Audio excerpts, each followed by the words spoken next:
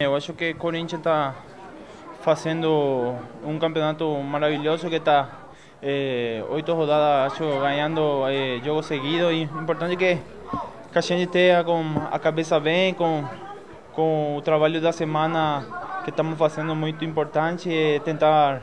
é, plasmar isso no campo que, que, que vai ser importante e, e, e sempre o professor sabe jogar esta classe de, de partido, ele está sempre incentivando, está mostrando o erro também que assim está cometendo. E, e aí, vamos ver que, que dá o domingo e tomara que seja para nós.